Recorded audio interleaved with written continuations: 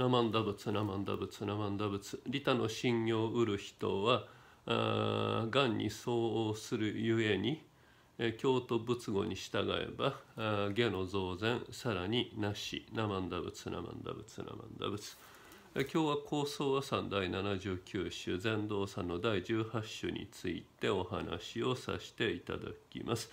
えー、今日のところもですね、えー、二尊一教。のところの真を進むるっていう、えー、そういう語話さんの一つで、えー、あります。で、えー、前回ですね、えー、78のところで、えー、この反見するという心を受けてですね、えー、他力の信心の徳を表す、えー、今日のところは他力の信心の徳を表す、え、すなわち、え、造縁があこう交わらないよと、え、混じらないよということですね、え、そういったことが説かれてるご和さんやということです。で前のところへのは真実信心得ざるゆ得ざるおば一心かけぬと教えたり一心かけたる人は皆三心愚せずと思うべしということですからあの真実信心をいただいて、いないとこれは、三心愚せずが従って、こう死心仏さんの真実心もそして必ず往生させていただけるんやっていう思いもえ、こう起こりませんよというね信心が欠けているからそうなりますよっていう、え、そういうこう、えー、まあ好ましくない状況を示すことによって好ましい状況を逆に表していく、えー、つまり一心、えー、真実信心をこういただいておったらばおのずとそれは仏さん如来の真実心をいただいている。お名号を聞かせていただいているということであり。で、えー、お名号を聞かせていただいてでそのお名号が、こう届いてで真実の信心として私たちの真相に浮かんだならば真を頂戴したならば、それおのずとですね、こう必ず生まれさせていただけるようになってね往生間違いなしということを期待して待つというね間違いなく往生することができるということを、喜んで期待してその時を待つということもまた起こってくるんですよということですね。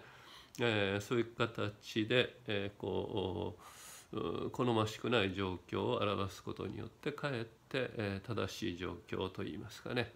真実の信心をいただいたらどうなっているのかという状況を反対の方面から明らかにしてくださってる。でそれを受けてですね、えー、今日はあの真実他力信心の徳を表しますよと。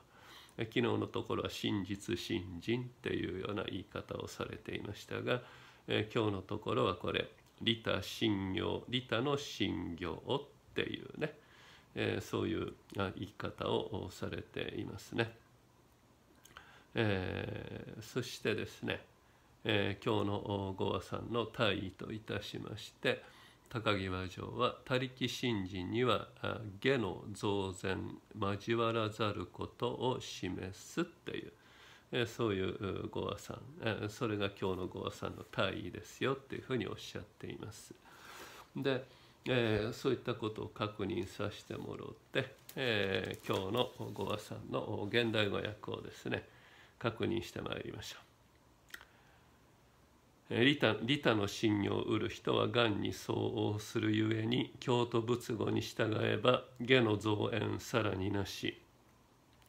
阿弥陀仏の働きによって真実の信心を得た人は本願のお心にかなっているので釈尊の教えと仏方のお言葉に従うのであり外からのさまざまな妨げを受けることはない。えー、まず利他の信用を売る人はっていうところが阿弥陀仏の働きによって真実の信心を得た人はというねそして、えー、願に相応するゆえにっていうところがこれ本願のお心にかなっているのでということですね。えー、そして京都仏語に従えばこれ釈尊の教えと仏様のお言葉にあの従うのであり、えー、だから、えー、教というのはお釈迦さんの教えそして仏語というのは仏さ仏方実法諸仏の仏方のお言葉に従うのであり。で下の造園というところがちょっと難しいけども外からのさまざまな妨げを受けることはないと。でこの外からのさまざまな妨げって何なんでしょうねということもこれ気になるところですね。まあ、えー、そういったことで、えー、こう4行一種4行のこう全体の流れといいますか意味を把握しましてでその次にまたえー、一行一行に立ち返って、えー、確認してまいりましょう。えー、利他の信用です。これは他力の信心っていうことですよと。で、えー、こう利他が他力っていうことになるのはこれ利他というのは利他力ですよということをこのお話の中で何回か申しておりますね。利他力で、えー、これはですね他いうのは私のことです。で皆さんのことです。で、えー、したら分かったこれは目的語やから「タオリする」でその「タやな私でありあなた方やことは分かったそしたら動詞と目的語分かったよとそしたら主語は何っていうことですね。え SVO ですね ねじゃあ S 何って言ったら S はこれ仏さんですよっていうことですね。これ何回か喋ってますね。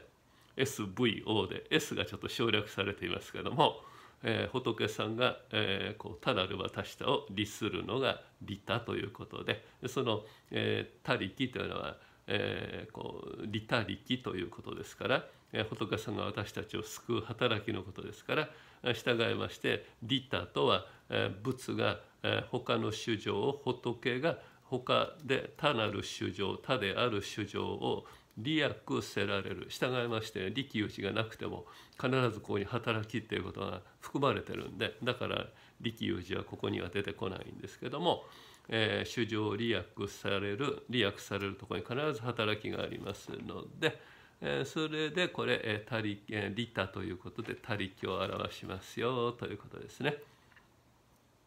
えー、続きまして「信行」というのは「指針と欲生とを全うせる三心即一の信行であるから」ということですね。えー、指針信行欲生というこの三心即一の信行であってえこれは信心のことですよということです。だからここで信行って出ているっていうのはここがやっぱりあの指針と信用あ欲生っていうことを含んでる第18願のところで言ってはりますよということです。だから利他の信用っていうことはやっぱこれ仏さんの救いがこの信用っていう、えー、救いというのは本願の中に本願力としては利他力が現れてる利他力っていうのは本願力ってことやから本願にその本願の働きによって18眼というのがこうなんていうかなこう成立してるわけだから。そしたらその18眼の中で説かれてる信あの信心ということがこれえこう利他の信用ということであのこう利他力が私たちに具現しているところで信用が語られているというの、えー、信用が語られていますんでだから18願のところでも出てくる信用って言葉をここで出してくださってるんだけどまあそれは取りも直さず信心のことですよと。えー、そしてですねえー、がんに相応するゆえにという2行目ですけど、えー、これは第18願の心に叶うことということですね。えー、これどういうことなんかな言うて言うて言うたら考え総称いう言葉知ってありますかね。考え総称と今ここにカンカンないななんかないかな、えー、カンカンがあったらパッと分かるんやけどね。お茶の、えー、ね、お茶のあのはあれありますよ。茶筒ありますよね。茶筒があったら茶筒の、えー、内側と外側にこう隙間が入らんように中のお茶がしけらんようにですねぴったりと合わさっていますね。であれが、えー、左右対称とかこう内側と外側が対象になる。ぴったりと、えー、このお互いがお互いにひっつき合っていますよと。つまり仏さんの願とそしてその本願の通りのにあのご信心頂戴している、えー、他なる私がですねぴったりと仏さんの願いと仏さんに願いの願いにかなってる、えー、状況にある仏さんと私がですね仏さんの願いと私自身がぴったりと、えー、こう、えー、寄り添ってる状況っていうことをこれ叶うということで、えー、言いますね。えー、昔の和尚さん方がいろんなことを教えてくださったんですよって架橋先生から伺ってるんですけどこれはですね必ず助けるっていうところお言葉を必ず助かると聞いていくところそれが必ず助けると必ず助かるという言葉あの私のえー、思いとか、えー、こう欠如用語っていう思いと必ず助けるという仏さんの願いがぴったりと寄り添ってちょうど茶筒の蓋と茶筒そのものがぴったりと重なってるようなことがですねここでいうところの「えー、がんに相応するゆえに」ということだしこれ高木和上がおっしゃっています。えー、本願の心にかなうっていうことですよっていうことですね。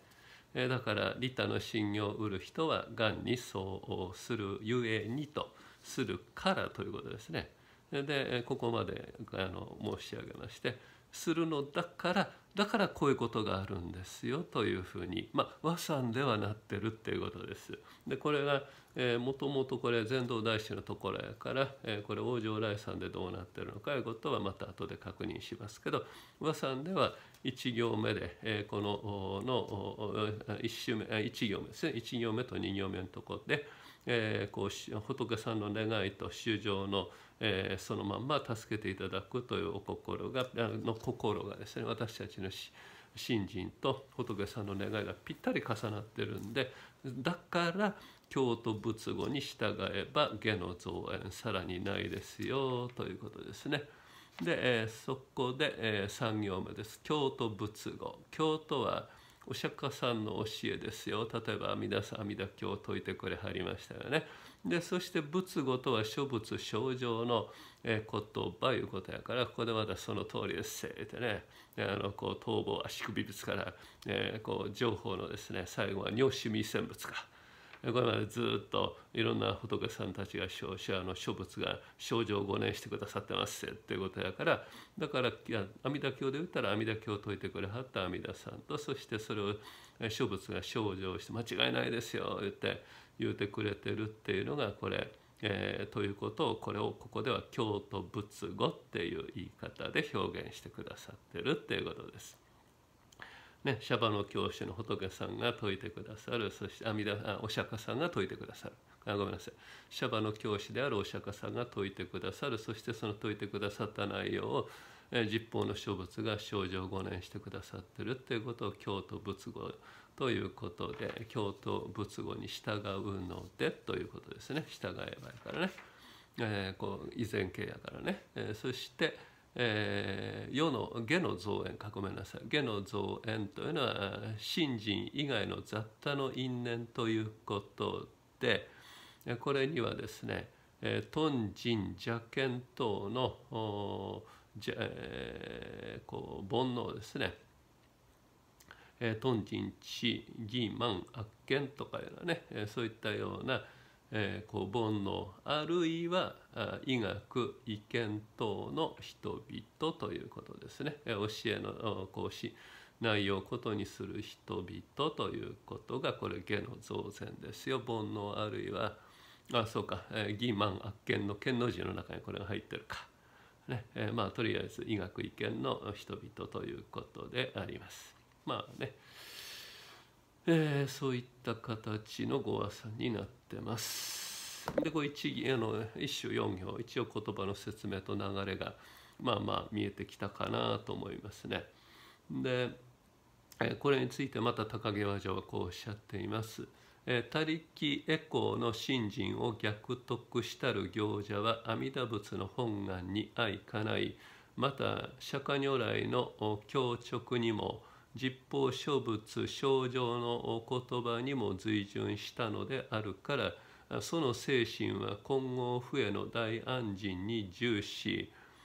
えー、他の他の医学,、えー、医学医芸の人々が来たりて妨害をなしその志を動かそうとしても少しも揺るぐことはなくまた貪欲心理等の煩悩が内心に起こっても決して乱されることはなくかえって広大のお慈悲を喜ぶ頼りになるのであるとね。いうね、えー、けなされたりしたらかえってそれが間違いないものだなということになっていくんだっていうことでありますね。でえー、っとですね。続きまして今日のところの天候がですね。これちょっと、えーまあ、難しくなってあのなんていうかな天候のところとそれから今日のご和さのところでちょっと比較するところによってまた見えてくるものがあろうかと思います。えー、王城来さんに、えー、ここ天候がね王城来さんに千住の徳を挙げ実測実証10人、えー、やったら10人必ず往生し100足100勝100人は100人ながら往生するゆえを理由を示して何をもってのゆえにどうしてそれが言えるのか。1番えー、下の造園なくして少年を得たるがゆえにこれが第一徳いうね。得るいう字が徳いう字やからね、えー、下の造園なくして少年を得たるがゆえにこれが 1, 個目です。そして、仏の本願に相応することを得るがゆえにこれが第2個目です。第2徳って言って高際城は言ってはります。そして教にたがわず、えー、仏語に随順するがゆえにっていうのはこれあの、えー、教にたがわず仏語に随順するがゆえにって言ってこれあのこれで一つの塊やと見てもいいと思うんですけど高際城は教にたがわずたがわぬゆえにみたいな形で第三徳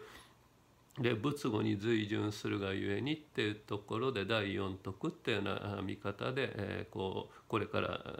説明するようなことになってるんですけどこれ4つの4つ第4徳まであるよっていうふうな見方をしておりましておられます。ですなわち第1徳をですね下の造園なくして荘園得たるがゆえにという第一徳を第一句と第四句とに分かつ、えー、つまりですね、えー、利他の信用を売る人はいうところとそれから下の造園、えー、さらになしというところと2つに分けはりましたよということです。他力の信用といって五和さんにあるところがこれ往生来さんやったら「少年を得たるがゆえにということやから、えー、そやから下の造園なくして少年を得たるゆえにっていうのをこれ順番逆にしまして五和さんのあの1行目と4行目に持ってきはりましたよということです。でそして後の三徳を中間の肉に、え、収めるということですから、えー、これがですね、えーえー仏の本願と相応するゆえにとそれから経にたがわずとそれから仏語に随順するというような形で、えー、こう、えー、中間の第2行第3行に、えー、こう今言いましたところですね。えー、っと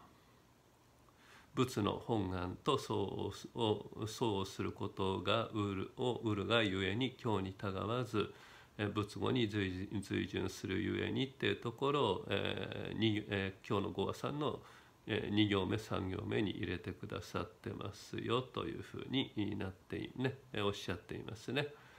でえー、っとですねまた後の三徳中本願相応の徳に「後の日徳を接し本願に相応すればおのずから仏教仏語に仏の教え仏の言葉に随順することを表し本願相応の国ゆえの字をつけてある。でされば和さんの心は仏の本願に相応して他力の信心を売れば千住の取得はおのずからぐすること知らしむる意味であるというふうに書いてありますね。えー、まあまあそういうような形で工夫されてるなということやし、えー、まあ言うたらこれパラレルなもんやったわけですね。えー、王城来さんやったら、えー、こう10足10勝100足100勝って何でなんですか？って言って言ったらこれは1番が下の造園なくして少年を得たるがゆえにで2番が仏の本願を相応すること本願と相応することがゆえに。でで3番4番これはまあ経にたがわず仏語と随順するゆえにこれ一緒一緒にするか分けるかいうことはともかくとしてこうまあ言うたらこうやって何とかの上に何とかの上に何とかの上に言うて書いてあるんやからこれパラレルなもんやったんやけどそのパラレルをやめてしも親鸞書にはそれをおやめになりまして利他の信行を売る人はがんと相応するからがんと相応してるんやからで京都京の京都仏語に、えー、従っていますし従いまして下の造園はさらにありませんよというふうにしてこのゆえにゆえに言うてパラレルやったもんをがんに相応するゆえにとねご信じいただいて本願と相かなっていはります。だからこそ京都仏語に従えば従うことになりさらに下の造園もあり、えー、から障害を受けることもありませんよっていうふうにちょっと文章の構造を変えておいであちょっというかね文章の構造を変えておいでになる、えー、そそのことによってですね仏の本願に相応して他力の信心を売れば、えー、他の千住の取得は、えー、全部おのずから、えー、こう備わっていきますよということを、えー、こうまあ高木和上の言葉によったらそういうことになるしで京都仏語とに従うことにもなるしそしてえ他の造園を造造園から、え悪影響を受けることもないですよというようなそういう構造に変えておいでになるということであります。えー、続きまして、えー、北塚和上のご指南を仰いでい、えー、くことにします。えー、現代語訳です。他力の信心を得る人は本願の心にかなうため、お釈迦様の教えとその他すべての仏の言葉に従うならば他の雑多な縁はいらないのであると。これちょっと私と解釈違いますね。従うならばということではなくて私は以前形ということを重くとっていますんで従うのでということような形になるんかなと思いますね。まあまあそれはともかくとしてですわ。えー、購読のとこを読んでいきます。禅道大師の二我の比喩では自力の教えで惑わそうとする人々を医学意見別下別業の人としていました。この和算ではそれらの人によって惑わされることを往生来産をよりどころとして下の造園とされます。ところで信用の一心を得るとなぜ自力の教えに惑わされることがないのでしょうか。それは信用の一心が利他だからです。利他とは自利に対する言葉です。自利と利他と合わせて、えー、自利利他と使用されることがしばしばです。利他本来の意味は他の主情に、えー、功徳利益を施すことです。また、それに対して自力は自分の利益を得ることです。利益でしょうね。えー、まあまあそういうこと自利は普通は自分の悟りいうことやから、えーうん、どうかな自分の利益または自分の利益を売ることです。ただしこの和算では利他のみを挙げて利他の信用とされていますから如来が主情に功徳利益を施す他力のことを指しています。したがって信用の一心とは他力へこうであり阿弥陀仏の本願に相応しているから自力の教えに惑わされることはないのです。なお五和山の中では本願にかのうことを教えと仏語に従うことであるとしています。京都仏語とは一体何を指しているのでしょうか。これについては今の和さんのよりどころになった往生来さんの次の御問で明らかになります。ただ信心をして、えー、愚念せしむれば求め念ずるで愚念求め念ずる愚念せしむれば神一行を尽くし死も死も実生一生等に至るまで仏眼力をもって往生を得やすしこのゆえに釈迦及び諸仏進めて裁縫に向かうるを別別意図すらくのみ。で中略されまして仏の本願と相応することを得るがゆえに教に異せざるがゆえに仏語に随順するがゆえなりとこの五問の前半部分と後半部分とを対比しますと仏眼力をもって往生することは仏の本願と相応することとなります。同様にこれに倣うと釈迦及び諸仏進めて裁縫に向かうることが教に異せざるがゆえに仏語に随順することになります。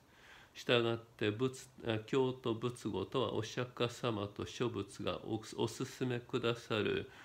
浄土の教えのことになります。すなわち本願他力の教えは全ての仏方のおすすめなのであって